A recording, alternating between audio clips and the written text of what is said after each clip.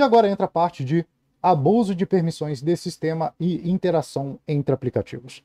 É uma outra brecha que os atacantes exploram e que o antivírus não consegue te ajudar. Então, ó, por exemplo, ah, e aqui que eu queria chegar. Em um corte, eu falei sobre esta vulnerabilidade e que ela era exclusiva para Android. Pelo menos eu dei a entender isso nesse corte. E aí, indivíduos que usam iPhone já correram no comentário, eles automaticamente concluíram que aquilo não era para iOS. Ó, oh, vocês que usam Android aí, eu estou bem tranquilo usando meu iOS. Pois é, ele concluiu isso e a culpa é totalmente minha. Porque eu permiti que ele concluísse isso. E eu vou carregar essa culpa para sempre, caso ele tenha saído desse vídeo e tenha continuado a utilizar o iPhone dele como se fosse a coisa mais segura do mundo. Porque eu sou responsável por fazer com que a comunicação chegue de forma clara até você que está me ouvindo.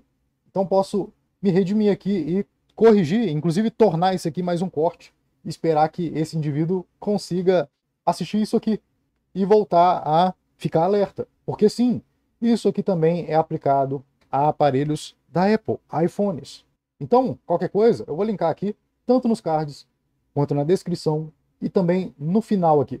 Eu vou linkar este vídeo e lá eu dou mais detalhes como que acontece essa exploração de intercomunicação entre aplicativos e exploração de permissões através do recurso chamado Sandbox, que está disponível não apenas para Android, como eu havia comentado lá nesse corte, que inclusive é o corte de uma live de mais de uma hora, onde eu explico como resolver isso.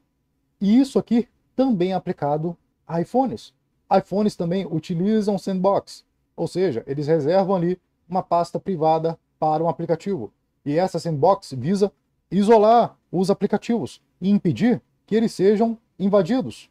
Porém, na prática, devido a várias intenções de aplicativos, como aplicativos de banco, por exemplo, como eu dei exemplo lá nesse corte, mais uma vez, assista ele completo aqui, e permissões abusivas de aplicativos, como por exemplo, um aplicativo de teclado ter acesso total à rede e poder baixar arquivos sem notificar você. Ele pode ser explorado por um atacante, ele pode ter uma brecha. Todo aplicativo pode conter uma brecha, inclusive aplicativos de Big Techs, principalmente aplicativos de código proprietário.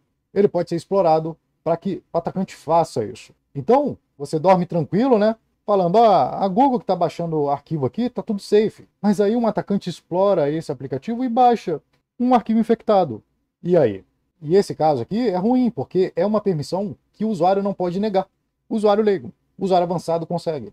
Consegue até mesmo substituir esse teclado aqui inseguro por outro mais seguro. Então, essas coisas, interação entre aplicativos e abuso de permissões, não podem ser protegidos por antivírus. Antivírus não conseguem te proteger deste tipo de ataque, seja explorando interação entre apps, explorando brechas, tanto no aplicativo quanto as permissões do sistema, recursos de sandbox, como permissões abusivas.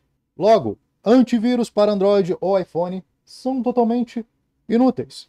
Sim, se você tem um antivírus aí no seu Android, no seu iPhone, iOS, ele está só ocupando espaço e coletando dados. Porque no fim das contas, para o antivírus ser a sua babá, ele precisa saber tudo que você faz dentro do sistema. É outra coisa que eu queria comentar também. O antivírus, ele te proporciona um pouquinho de segurança, um pouquinho assim, ó. em especial, principalmente em iPhones e Android, em troca de uma coleta absurda de dados. Só que aí vem outra coisa. No caso de iPhones e Android, como o aplicativo funciona dentro de uma sandbox, ah, e aí, como é que o antivírus faz para poder acessar outras aplicações por completo? Como é que ele vai fazer para analisar todos os arquivos de um aplicativo, que é o malware, se ele não tem acesso à pasta inteira do aplicativo? Então, no caso, antivírus para iPhone e iOS é pior porque eles seguem a mesma regra. Ele é um aplicativo dentro do sistema. Logo, ele também funciona dentro de uma sandbox. Logo, ele é limitado a acessar a sandbox de outras aplicações. Então você vai lá na Play Store, baixa um aplicativo, acha que é idôneo, e ele começa a trazer atualizações maliciosas. E aí ele se transforma em um malware. Seu antivírus não vai nem saber que ele é um malware. Tanto porque o app ele foi esperto e conseguiu burlar a segurança da Play Store primeiro, convenceu você a instalar ele, E terceiro, ele é limitado pelo próprio recurso de sandbox de segurança, diga-se de passagem, do sistema.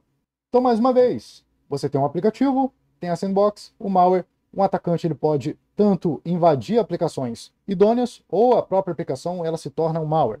Você baixa um aplicativo, por exemplo, de calculadora, que na verdade é um malware. Baixa um jogo que na verdade é um malware. Se transforma em um malware. E o antivírus nem consegue detectar. Por conta desses motivos aqui. Ok?